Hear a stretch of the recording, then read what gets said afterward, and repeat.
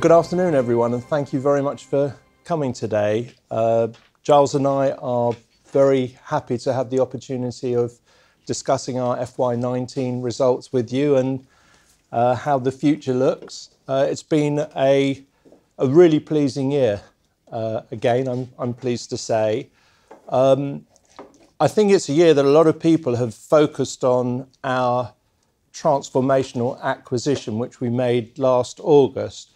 But that's definitely not the whole story. We've had very pleasing organic growth in the year, and Giles will uh, delve into uh, where that's happened and why that's happened. Um, it's a year where we've once again seen the benefits of uh, recent investments, fast payback investments, where we see new opportunities to become increasingly efficient, and there are more opportunities to come, which is exciting for us product innovation has absolutely played its part. Um, it's quite interesting. We now employ 220 full time designers around the world. Our design studios are our engine room. Innovation is key. Our customers expect innovation from us, and I believe we're not disappointing them, and we take it incredibly seriously. We acquired Impact at the end of August. We've really hit the ground running with Impact. We'll give some detail on that later, but uh, in short, the uh, operational synergies that we highlighted that we would deliver, we are absolutely on track uh, and are doing that. We're, very happy with that. And put all those things together, and it's helped us to deliver record sales, profit, earnings per share, and also, pleasingly, dividends, having generated very significant uh, cash during the year. So, a very pleasing year. If I went back 15 months and said, well, that's what the outcome would be, uh, well, we're very happy with that outcome. So, we're now very much focused on the, on the future. On to slide three, uh, just to give you a, flavour of what our business looks like in terms of the balance of our business. As you can see, during the year, the United States was 53% of our sales, the UK 22%, Europe 15, Australia 8, and the rest of the world 2. We expect the business in the United States to be in excess of 60% of our sales uh, this year. It's where the main growth opportunities are but it's not the only area of growth. And again, we'll, we'll dig into that. You can see that the Christmas season was 56% of our sales, roughly similar to last year. But what is interesting for us is that what we call minor season sales, Valentine's Day, Easter, Mothers, etc., or more, let's say, specialist occasions like Super Bowl Sunday or Thanksgiving or St. Patrick's Day, um, that area is now over 20 million pounds of sales for the business, and they are higher margin uh, categories. You know, we describe ourselves as a very customer focused business, and we certainly don't apologize for that. We are very much asking what are the problems that our customers have? How can we provide solutions for those problems? And in doing so, create profitable opportunities. We're very aligned with our customers and we're very proactive in, uh, in working closely with them. And one of our key strategic drivers, as we'll describe later, working with the winners. We really are working with the winners, and the question is who are going to be the winners of the future and who won't be. I think slide four captures what our three key commitments are to shareholders. First of all, to deliver double digit earnings per share growth. We're very happy that in the year that's been 33%. Over the last five years, that's averaged at 28%. Generating cash, a pretty healthy thing for any business to do. But during the year where we part funded the acquisition of Impact Innovations with cash, we've once again reduced average leverage from 1.5 times to 1.3 times. And as you may have seen, market consensus is, and we're comfortable with that, that we will continue to do so this year. And finally, Um, dividend up 42% in the year, very much underpinned by record levels of cash generation. We have said that we will have a progressive dividend policy. Last year, 3.6 times cover. This year, 3.4x cover, and we see that progressing to 2.5x. Um, the other day when we put together this presentation, Giles and I kind of paused for breath for just a little while and said, "That's a pretty interesting trend." If we go back three years, I remember being asked the question, "Well, uh, the business has really progressed well. Have you peaked?" Well, since that time, um, EPS growth has doubled. Leverage, average leverage has more than halved, and dividends have trebled. I guess to continue progress on a sort of, you know, a higher platform is challenging, but we see lots of areas that we can continue to grow and improve on.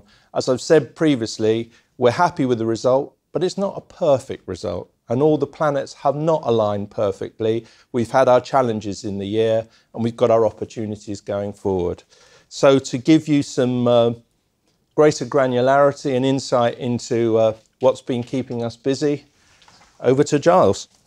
We've basically delivered that EPS growth through both revenue growth and also margin growth, and you can see that on the slide where uh, revenues were up 37%, and I'll give you a little bit more insight into that in a minute. Um, our adjusted profit was up 39%, and also we ended the year with 17.1 million pounds worth of cash, which was 12.7 million pounds more than the previous year. So, all in all, good headline numbers. If we turn the page, though, we can see some more detail around that. In terms of revenues, it was not just about the acquisition. We also delivered 9.8% organic growth um, across the group. So we had growth in every region, both not only in revenues, but also in profit. Our adjusted operating margin went forward 20 basis points to 7.3%, an area of focus for every business unit that we have. But an interesting dynamic behind it when you look at the playoff between gross margin and also overheads. And what we saw as a result of the acquisition of Impact um, was our gross margin dropped, um, but our overheads as a percentage of sales dropped more, hence driving that um, increase in operating margin. Why was that the case? Impact, we knew this when we bought it, was a business that had a lower gross margin but had incredibly good cost to serve. Low cost serve is an efficient business. And so all we're seeing in this consolidated picture is the uh, weighted effect of that in the year. The good news is that 7.3% is an area of focus, as I say, and we continue to expect to see that go up next year and beyond into future years. So, uh, more opportunity to come. Just in terms of some of the uh, more mundane, I suppose, tax. We love tax. Um, tax rates came down, and I think we signaled this uh, even last year by saying, uh, you know, the drop in the U.S. federal tax rate uh, has driven a lower overall effective tax rate for our business down at 23.4%. Um, going forward, it's gonna be a similar level there or thereabouts. I think most people will have seen um, that the P&L does have Uh, uh, an exceptional cost in there, 8.4 million pounds, so not insignificant, but really reflecting, overwhelmingly reflecting the uh, acquisition of Impact. Not only the costs of acquisition, but also the U.S. restructuring that's been going on thereafter. The good news is we are pretty much done in relation to restructuring, and so we don't expect a similar. In fact, we will have some, but they're gonna be a much lower level of exceptional cost going forward, um, in the region of one, maybe slightly more, but 1 million pounds. So that's our performance in terms of P&L. If we look at it at a business unit level on the next page, I mean, we we can see a significant increase, uh, a 41% increase in the actual operating profit itself, and you can see that's coming from across the group. Um, standout areas, obviously, uh, the Americas business, um, significant obviously in the Impact was where we was uh, is an American acquisition. But actually underlying that, we've still got organic growth there of 10% um, in in revenues. In the U.K., the U.K. is a challenging market for the in, in retail at the moment. And we were really pleased just to see 3% growth, not in revenues, but also 3% growth in our uh, uh, profits as well. So a good result there. Europe, standout performance really in Europe as well, where we saw revenues increasing significantly, but also uh, our margins going further forward. Um, reflecting a number of aspects there. One, we we are growing our sales in product areas where we have a higher gross margin. That's driving part of that margin improvement.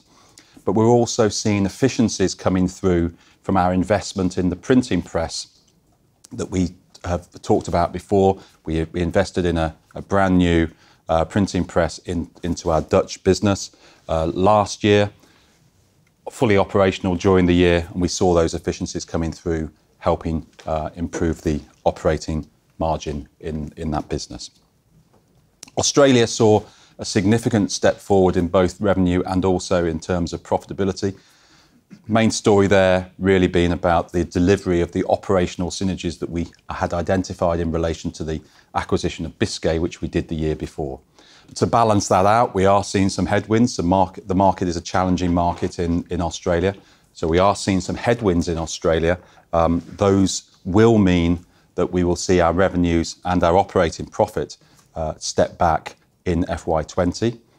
But the overall group, we will see that 7.3% operating margin grow, um, and we will be delivering uh, improved profitability across the group as a whole.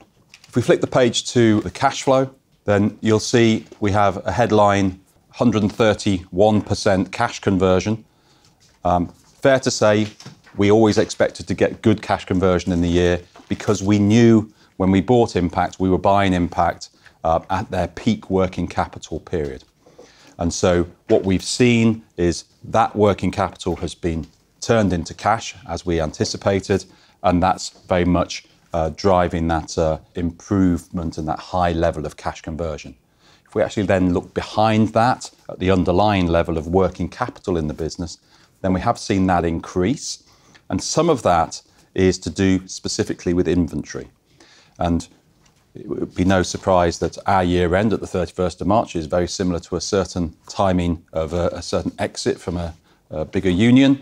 Um, and we did do some stock building in relation to that at the year end in our U.K. business.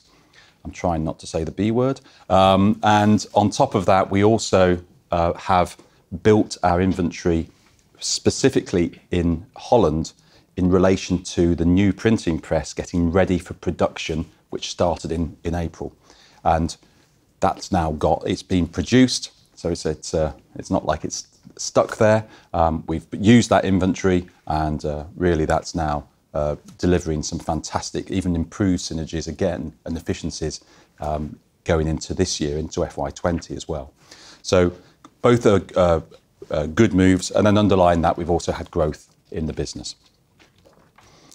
Just on CapEx, we spent 7.9 million pounds in the year on CapEx, uh, a mixture of specific projects.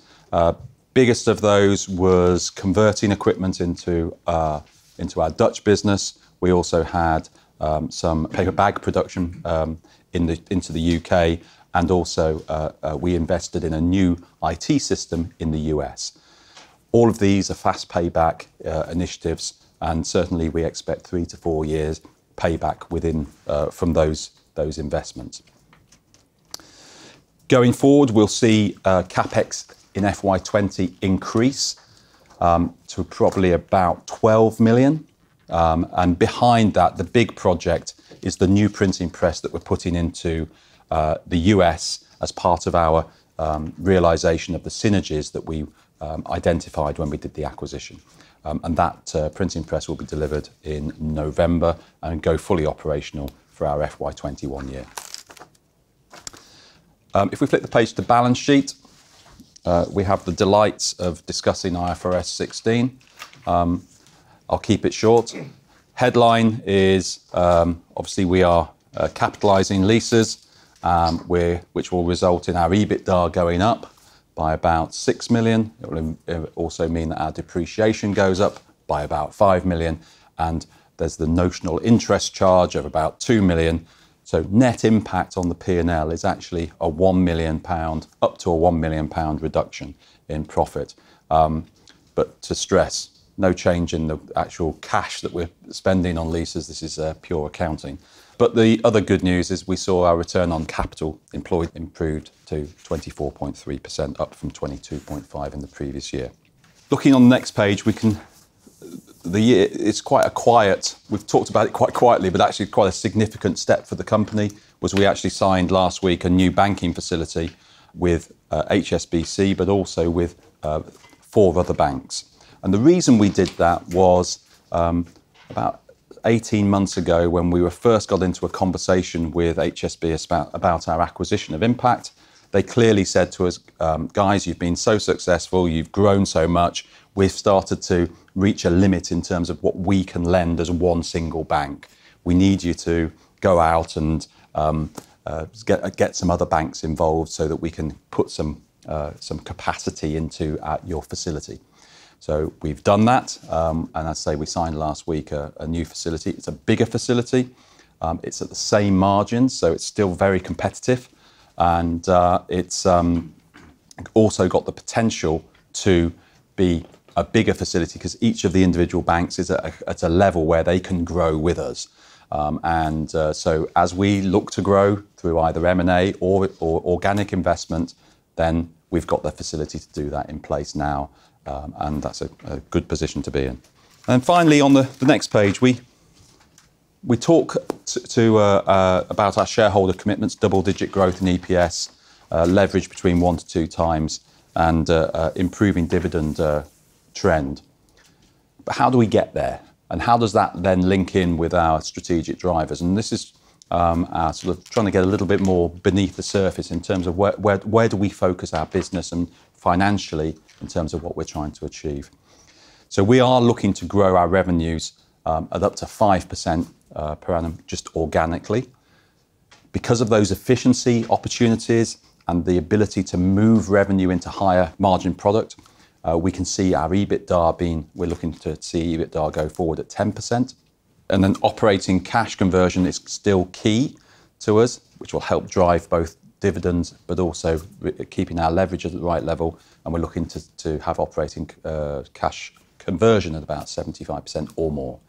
And if we're doing all of this, our return on capital employed will continue to be at around that 24% level. And they are all. And behind all of those, we have specific actions that link back to the strategic drivers. Okay. So on to slide 14, and just to show that the strategic drivers are actually happening, they're real. We are walking the walk, not just talking the talk. Um, so the first one, working with the winners, what does that actually mean? And we just tried to capture this. On slide 14, you can see who the group's top 10 customers are.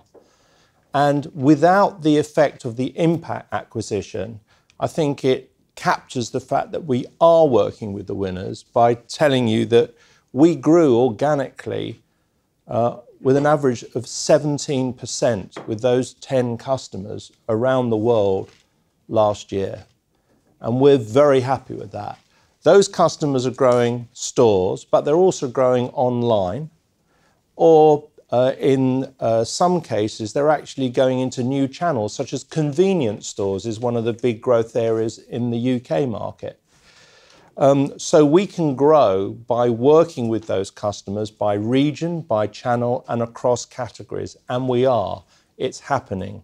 We're working with the winners. They want to work with the winners, too. Um, the biggest growth channel for us, no surprise here, are the mass and discount sectors. It's 62% of our business now. Now, clearly, 38% of our business is in independents or niche channels, and that's still an important area for us. But where's the growth gonna come? We see that the discount and mass channels will be, will continue to be big growth areas for us, and we're working very collaboratively with those retailers across many different projects and categories. So we are living that strategy. Strategy two on slide uh, 15 design and innovation. Last year, we created and sold over 50,000 new products around the world. And we've deployed our design capability to new categories. So uh, I, I, know it will be on your radars mentioned before. A few years ago, we began to look at not for resale consumables, paper bags for the um, beauty and fashion industry. Not for retail consumables are now a 20 million pound revenue stream for us. About 6 million pounds in the United States, 14 million in the UK. The size of the market is quite honestly, it's difficult to measure. It's growing at such a pace. The transition from plastic bags into paper bags is rapid. It's an exciting area for us. Our second production line comes on stream later this year, and we're already talking about our third production line uh, as well. Great area for growth. Similarly, in the creative play category, so this is colouring products and clays and doughs and uh, a lot of craft areas as well, it hardly existed for us a number of years ago. Uh, we see that as growing above $20 million uh, for us this year and growing outside the United States. So design and innovation is real and happening. For the first time this year, we have actually created an innovations hub for our business. We see innovations as a standalone discipline, quite an interesting place to work where we've got talented people focused on new formats, on new substrates, on new materials. How do we deliver product to market? What does it look like in store? it's different to the design side, which is more aesthetic. This is really driving innovation across the group. And it's what our customers expect of us, and we're, we're delivering. And finally, in terms of efficiency and scale, yes, we continue to invest in the capex projects that uh, Giles alluded to. You know, the holy grail for us will be if we take the efficiency of our uh, printing in the UK and Holland, and we manage to achieve those levels in the United States, we can drive tremendous growth. And uh, we're on the case, very much on the case. Impact Innovations was the catalyst in the United States to make that happen. Clearly, M&A is part of our strategy as well. Uh, we bought Impact and um, that has opened up new avenues of opportunity. A lot of the time that Giles and I are spending is looking at new M&A opportunities. Most of them, frankly, don't make sense.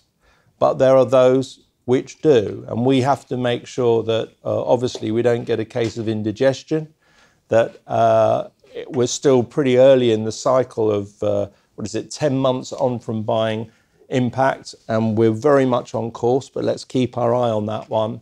And we'll make sure that we resource um, new opportunities appropriately. We also have organic growth to take care of. It's a high class problem, uh, but uh, we're very conscious of the fact that um, you mustn't bite off more than you can chew. But we certainly have the balance sheet strength, we have the new facilities that uh, Giles explained, we have the appetite and we have the opportunity, but let's be very discerning, and I, I promise you we, we will be. So, talking about impact on slide 17, just an update where are we in delivering the operational synergies? We said that there will be a run rate of $5 million um, by the end of FY21. And I'm happy to say that we are absolutely on course. We delivered half a million of uh, synergies in 2019. Uh, we are absolutely on course for a further uh, 2 million in 2020 and then up to 5 million in 2021. That last balance of uh, synergies very much underpinned by the investment in the printing press that will actually go into uh, Memphis at the end of this calendar year, and we see it being up and running and operational by uh, April next year. Um, and I can uh, tell you that, uh, you know, overwhelmingly, The integration of Impact has been smooth. I think the teams, I'll take my hat off to the teams uh, there. Uh, they've uh, managed this extremely well, and we've got um, very good synergies coming through. What I haven't mentioned is the cross-selling synergies. I've only mentioned the operational synergies. Um, we're getting some early wins, maybe early, earlier than expected, because normally there's a two-year cycle for those to happen. But we've we've already seen benefit, cross-selling benefit, not just in the United States, but outside the United States as well. So we're very pleased with that. Um, on slide 18, we capture some of the, let's say, higher profile and more obvious challenges. Uh, as again, uh, Giles alluded to, we feel that we are uh, relatively Brexit neutral. We're manufacturing for the U.K. market in the U.K. market. We're manufacturing for continental Europe in continental Europe. There's not a lot of cross-border trade there, and we think that we are uh, well prepared for that. Perhaps the more higher profile and relevant um, headwind and challenge for us is the whole issue of U.S.-China tariffs. So that came on the uh, on the radar last September, and we absorbed incremental cost in FY 2019 uh, from tariffs. Um, but we have been proactive. We've been sourcing outside of China. Not all of our products are actually subject to tariffs in the United States. Clearly, we're negotiating with suppliers, we're negotiating with customers. You re-engineer product, you manage your mix. But always, uh, from a headwind, there can be tailwinds because we are engaged in uh, good dialogue with customers saying you know, whether we are responsible for the tariffs, because the vast majority of the tariffs our customers will pay. We engage with them and say, "How can we collaborate with you and uh, perhaps uh, enjoy further opportunities as a result of of doing that?" And uh, when you um, have the level of relationships that we have with our customers, you can have that kind of dialogue. One of the things I would say that was particularly pleasing, good for the ego, but actually a big statement, we recently won the Walmart Supplier of the Year in our product categories. I think what that tells me is, you know, when you acquire a business, as I'm sure you're all all aware, it's a distraction. When you integrate businesses, it's a distraction. From our customer's perspective, that was invisible. It was a seamless transition and transaction. We achieved tremendous levels of customer service. That really is what that award is all about. And it, because it's a pretty uh, high-profile, prestigious award, the industry is aware of that. So not only does it help cement our relationship with Walmart, but it's also an opportunity outside of that. So again, hats off to the team there. Um, As far as the outlook for 2020 is concerned, we're in good shape. We have a good order book, probably now in excess of 70% of our annual forecast. Most market consensus is that we will be there or thereabouts at around 500 million of sales this year. So that'll be a nice milestone if we're able to deliver on that. But uh market consensus is that we will continue to deliver that operating margin growth, as uh, Giles mentioned, uh, and we're in good shape to do so. Uh, certainly challenges ahead, but the opportunities outweigh those challenges and um, you know, we feel good about the year going forward. So the last number of years has been a good journey. We see that top line will continue to grow organically. We will be looking at M&A opportunities. As I said, we'll be very discerning, but we see the story of top-line growth, bottom-line growth, plenty of cash generation. We'll be investing in the business and continuing to improve return to shareholders. So that's our story, and we very happily welcome any questions. Thank you very much. I've got uh, two questions. One on the financing facilities. Most of them are three years. Is that uh, what's the rationale for having a three-year so we're, typically, what we have is a three-year facility with the op- option to extend, and at, with those options to extend, we can actually take it to five years. Um, I think it's a, I think it's pretty much market would be you start with three. Um, with a, the opportunity to have an extension, so that's what we've got. So I don't think we're doing anything that's particularly outside of what other companies do. How many banks was it? Five. So the banks are Majors or minors? Major banks or minors? some you'll have heard of. So HSBC, uh, BNP, um, NatWest, uh, two maybe less, two are US banks. One's called SunTrust, and the other one's called PNC. With the operations in the US, are you still using the Impact name to carry that goodwill through, or is this so when you award, you've got this award? Is it an award to Impact or is it an award to IG? What sort of Actually, the award, the award was to Impact because Impact were the, was the supplier name at the beginning of the tra- trading year.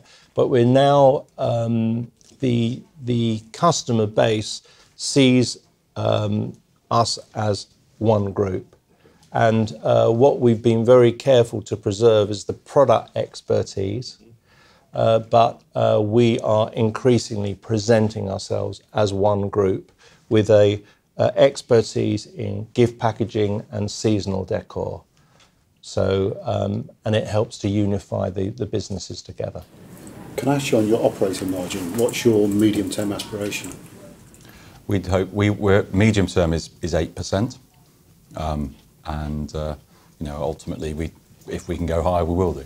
Um, but uh, yeah, that's sort of where we're focused at the moment as a group.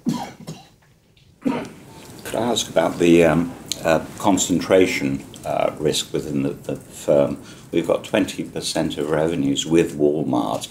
How, what was that number prior to the Impact acquisition? And uh, and can you say anything about the nature of the relationship with Sure. Walmart and how you deal with them? How many different departments? And has there been been any change in the mood music since you acquired Impact? Because sometimes it, you know a change of ownership is a catalyst for suppliers. to Great question. Review things. Yeah. Um, so prior to acquiring Impact, our largest customer was around 7.5% of sales. That was Costco. So, you know, you're right. It was a, a, a real shift when we acquired Impact. And frankly, before we did so, that was one of the questions that kind of spooked us. What does that look like? Because for Impact, Walmart was over 60% of their sales. But um, when we understood the complexity that was being managed by Impact, you know, well in excess of a thousand bespoke SKUs across seasons, departments, categories, buyers, brands, etc. And the track record that Impact had, because actually Impact has been supplier of the year, I think it's three or four times in the last 10 years. Uh, what we found is, you know, we had an excellent, as design group, we had an excellent relationship with Walmart, but um, Impact were hard to shift out of the categories they were in, which made them very appealing.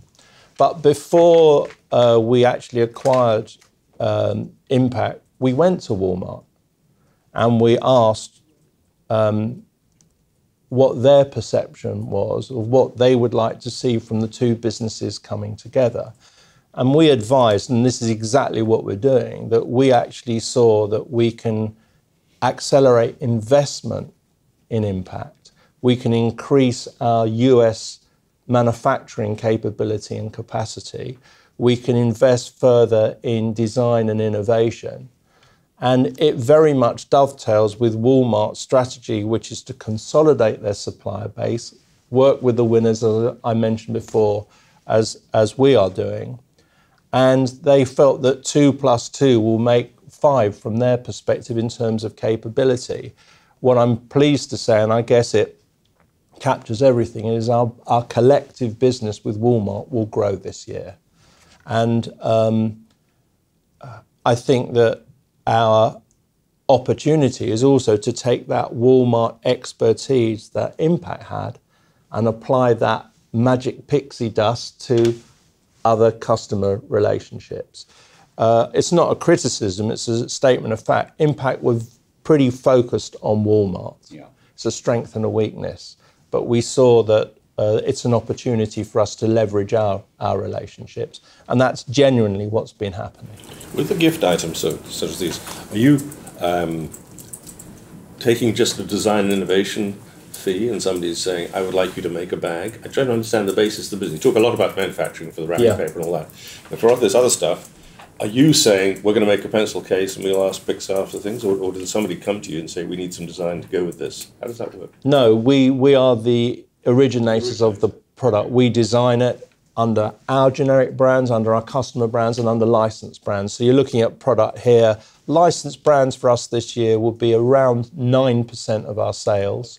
So the Disney portfolio, for example, um, in the United States, we've got some uh, very successful brands with the sports franchises, you know, NFL and NBA and NHL, the hockey league is very popular over there. And it's part of our portfolio. We are the one stop shop from a brand point of view as well as a category point of view. Uh, Australia has always been a challenging market for the company since uh, you know, for a number of years now. It's doing better this year than before, I think. How strategic is your presence in Australia now that you've got the American market opening up for you in terms of priority? How do you look at Australia? Is that a there Well- to stay or is it? It's a joint venture. That's the first thing we, we should say. Um, it's also the highest corporation tax regime where we, we trade. So, uh, you know, it's had a great result in FY19. We're really happy with it. We had a very successful uh, acquisition, and the integration process has been excellent. But in pro rata to the overall group, is it really significant, particularly from an EPS perspective? No, but it's successful. It's relatively low maintenance. We've got a good team there. I think we're happy to have a joint venture there. It's a long way away. It's good to have a, a, a, partner where our you know, interests are absolutely aligned. And frankly, it's a, uh, an area where we can easily leverage the product development, development that happens around the group. So um, we see it as a as a good market. As Giles uh, mentioned, we see some headwinds in Australia this year, but we see a profitable business. So we're we're happy with it. But the growth undoubtedly is going to be in the United States. We do see growth in the UK. For us to achieve 3% top line and 3% bottom line growth in the UK, sure, it's very modest compared to other areas, but we were really happy with that. The UK was a tough place, has been for a number of years. So uh, I think single digit growth, I think some of our competitors will give their right arms for that. And uh, we're very happy. The team had to work incredibly hard to deliver that, but they delivered it. And we do see growth this year. And in the US, um, am I right in thinking some of the paper is actually being transported at the moment from Holland uh, over? Uh, only in the short term, because clearly we have the same capability in the US uh, early next year. So, uh, so does that mean then there's going to be spare capacity in Holland, and how are you going to fill that? Well, we're growing, as you can see, significantly organically in Europe. Uh, and uh, we see the capacity this year is, is you know, very full. Okay. Is that what you mean by moving production to the US on page 18? Yeah. That's what. Okay. So the rest of the world is trivial, but uh, maybe you don't have the bandwidth for it. But is there anything emerging from all of that massive geographic slice that would be part of your future in any sort of next two or three years? Well, uh, if I say Asia, that's, that's a pretty big place, uh, and uh, we're seeing growth in areas like Japan and Korea. we're not seeing growth in China. I was actually specifically thinking of Japan and Korea. Right. Jap- yeah, absolutely. And we're definitely seeing uh, uh, growth there. Um, India is interesting, but it tends to be partnering with uh, some, you know, uh, European-based retailers over there. Um, but I don't see that as our easiest win in the short term. But longer term, I see us deploying more resource to that. Definitely. As a follow-up to that, then, how much of your management time is spent on M&A, looking at review, etc., versus the organic growth that you sort of played it against? Well, I think I think you know explaining the the the structure of the group. So we have regional CEOs. They're very focused on organic growth, but they also look at M&A opportunities. So Giles and I are our corporate office. I think it's 16 people. Giles and I are two of them, and certainly. Uh, I would say half of our time is very much focused on uh, making sure that we're on track with day to day, and we've got very good visibility of that. But I would say now half of our time is spent on M&A. Some of that is actually triggered by our regional CEOs, some of it isn't. But what I would say is if those CEOs aren't bought in to the M&A opportunity, it won't work. So we are very much working hand in hand with those CEOs. That's how it works. What's the capacity of one of these big printing presses, and um, and, and um, how long will it take for the US press to be fully utilised? Well, I think the theory, there's theoretical In terms of capacity and actual capacity. Um, I would say that um, it would be three to four years before the full capacity is is reached. The lead time on the kind of printing press that we're looking at from pressing the button to it being up and operational is probably around 16 to 17 months. So uh, for now, I think we'll have plenty of capacity. And what sort of revenue can um, can that one printing press generate? Approximately $100 million. I can be more accurate, but uh, um, yeah, that's the sort of yeah. feels I Yeah. wanted. So it gives you plenty of organic growth opportunity. it does. Hopefully not enough, but we'll have to work on that. Does everything come out of it then, like all the cardboard and paper based? Well, for example, our, our printing press in uh, in Wales, which was initially fully deployed on gift wrap, is now making uh, prints that we're converting into bags. So there are other categories that you can drive from that, and there's I'll call them bells and whistles that we're putting onto the uh, press that just helps us add value and um, and uh, create new categories all the time. Do you see any critical price or capacity problems with raw materials that you need? Obviously, paper is a large part of it. Are there any aspects of that that are to be discussed? No critical issues? I mean, raw materials, we're seeing paper pricing. I mean, the last couple of years, we've seen paper pricing increase quite substantially. Um, we're seeing that level off now. If anything, you know, it may even start to go down. So it's um, uh, we're not seeing the same pressures there that we saw before. Um, freight's pretty consistent, which is the next biggest uh, cost. So no, we're, Yeah, I that, was- that was really the key issue. I don't Yeah. want to understand. Yeah. For now, these things can change pretty quickly, but we are pretty well covered for the next year. Okay. What is it in an M&A acquisition opportunity that you're looking for? Is it um, customer access to customers or um, different uh, markets? If uh, if I think of those that are currently on the radar that are still of interest, I think most of this will be about uh, category expertise that we can um, exploit with our current customer base.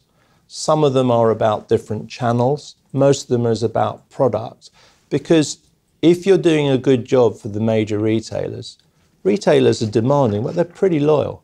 So to actually shift a competitor out of a product category is normally going to result from not particularly attractive margins. So um, we look for operational synergies, the sustainability of those relationships and uh, revenues, and um, often, certainly with some US um, opportunities that we're looking at, these businesses are incredibly focused only on the US. So if we can actually leverage that outside the US, which certainly with impact we can, that makes it also attractive. We'll also say to ourselves, what can the acquisition do that um, our organic um, business can't do? And it's normally a question of it's faster, uh, it's more profitable, and obviously you have synergy opportunities there. So, you know, as we've said, we can grow without M&A, but um, we can grow faster with the right M&A, and I'll emphasize the right M&A. And presumably you're seeing a lot more opportunities come to you. Yes, Yeah. we are. Definitely. Um, not necessarily of quality, but a lot more. Certainly quantity, not necessarily quality. Uh, but yeah, definitely more. Part of that is just what's happening in the market. Secondly, people see us as a consolidator. And I think thirdly, just the scale of the acquisition last August has just uh, definitely increased awareness, which is good. You talked earlier about the holy grails to get the US margins up to the margins you're achieving in the UK. Could you just give an idea of what the differential is and which margins you were talking about? I'm talking about margins in manufacturing of, of gift packaging. so this is in the gross margin as opposed to the net margin. Yes.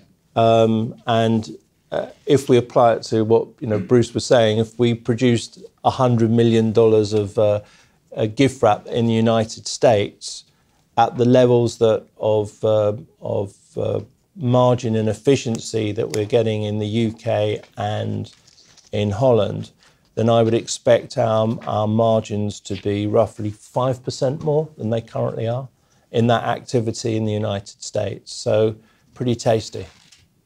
Do you have um, an expectation with efficiency growing, but also the business growing? Uh, do you see a substantial need for taking on more staff, and are there any critical problems in acquiring the staff you need? I'm thinking particularly in the design and innovation area, that is a competitive space. I, I, we, we will, as we grow, we will need to su- support our, di- particularly our design teams. Um, are we experiencing challenges in growing our design? I don't think we are. Um, and if anything, I think we're, you know, we're seen as a good place for people to come and work. It's a, you know, it's a, it's a challenging environment, but it's, there's always something new, and it's so, so from a designer's perspective, I think it's quite an interesting environment to work in. So, but Design's not the area, but where we have recently invested is for the first time uh, we have a global sourcing director. So uh, you know if we are we're spending around about three hundred million dollars with our suppliers across Asia, uh, working with over hundred suppliers. We've got, got 100 people engaged in quality control and quality assurance. We've got uh, five different offices throughout the Far East. So, leveraging scale, but applying common standards, trying to have one cohesive team is easier said than done. And we've, we've uh, uh, recently, uh, Keith joined us in January um, have uh, an individual that we brought in very experienced in that area. He'll help us raise the bar in that area. I think that's a smart move. And um, the other area was in IT. We uh, have employed an excellent uh, guy in, uh, in the United States in the uh, IT area, which we just had a lot more opportunity to be more efficient. So I agree with Giles. It's not going to be in the uh, design area where it's going to be challenging. We've got a great team. We've got to keep that team fresh and motivated and challenged, but it's in the other disciplines of our business. You know, if we can save through that efficiency 1%, uh, which I don't think is over ambitious, it's quite a lot of money and we'll, we'll take it. But we have to be organised differently to do that. Value wise, where, where are the biggest organic growth opportunities, would you say, for this year or next year? Geographically, it's the US. Um, and I suspect we'll continue to see organic growth in, in Europe as well, although it would just be at a smaller scale. But the US is, is by far the biggest, um, and it's, that's just a, a function of scale um, in terms of, you know, the, the market there is just so much, so much bigger than it here. Well, from a product category, know, we can grow across uh, all categories. I think in value terms, uh, I think some of the biggest rates of growth will come in our um, creative play and giftware areas. We also think that the seasonal decor part of the impact business can show good growth uh, across the group. Um, but genuinely, we don't really see any areas going backwards. Yeah. And in terms of like the not for retail and the, the uh, gift, also creative play areas, which have come from nothing in a few years, I mean, what's the potential of those in terms of what's the overall size of the market or is there a new market you're creating? I'm just. Well, not for resale, as I said before, and I'm not being flippant, it's just the truth. We can't even measure how big the market is now, it's just grown so quickly. But um, you know, we see every possibility to, to grow that part of our business significantly over the next few years. From a creative play uh, perspective, um, again, I'd be disappointed if that couldn't double over the next two to three years. In terms of headroom for acquisitions, um, with the facilities that have been arranged and um, and other well, yeah, those facilities. Um, how, what is the headroom, and what would you be prepared to go to um, in terms of leveraging the business? So I think in terms of headroom, um, the so within the facility we have an accordion. So we've arranged for an accordion. That accordion is 140 million. Yeah. So that's quite a lot of facility headroom. Um, should we need it. Um, so that's the simple answer there. In terms of what you need, quite a lot of that for working capital purposes. We'd need some. We'd need some. I mean, it all depends on until you get into an acquisition and you know what are you paying, what's the balance between equity and debt, and and so on. You, these questions are sort of a bit academic and they're difficult to answer. Um, do we, when we looked at it and modelled what, what, we went for, we felt that that was the right um, level of accordion to have to do some pretty uh, good transactions and maintain leverage at about the 1 to 1.3 to 1.5 times. So clearly, if we're buying a business, then we're buying EBITDA. We can bring, we can bring, uh, you know, the, bring. It will be more debt, but the leverage would be uh, at the same sort of level. HSBC has been a sort of strong supporter mm-hmm. of the group throughout its history. Uh, they, I mean, uh, they are part of the club facility yes, indeed. as well. Yep. Did they? Did they? Uh, front, did they? Were the, the book runner? Effectively, yes. It wasn't quite run like that, but they were. They're the agent. They're, they're um, the, pretty much, and they are the biggest bank as well in the in the in the uh, sort of syndicate. Yeah. There isn't any reduction in their commitment, is there, in terms of the overall commitment? From HSBC, yeah. they did reduce. They did. Now, they reduced reluctantly because they recognised that if we're going to have to attract other banks in, they're going to have to reduce because they were doing it all before. It was a tactical rather than a... It, going forward, yeah. they want to increase. Okay, great. Thanks for the questions and for your interest. Appreciate it. Thank you. Thank you. Thank you.